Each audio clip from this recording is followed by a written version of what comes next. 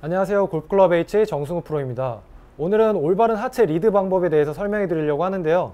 먼저 병에, 벽에 어드레스를 취하신 상태에서 엉덩이가 벽에서 떨어지지 말라는 내용은 많이 들으셨을 거예요. 근데 제가 강조해 드리고 싶은 부분은 조금 더 오른쪽을 유지한 상태로 왼쪽을 리드해 주는 방법인데요.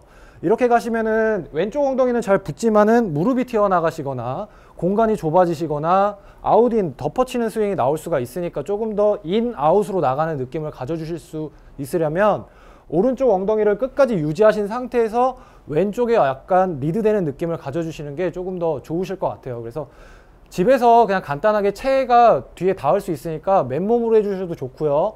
하체에 대한 리드되는 느낌을 자꾸 피드백을 주신다면 연습장에서도 체중 이동, 하체 분리, 인아웃의 스윙계도 다 좋아지실 수 있을 거예요. 그래서 하나, 둘, 다시 하나, 둘.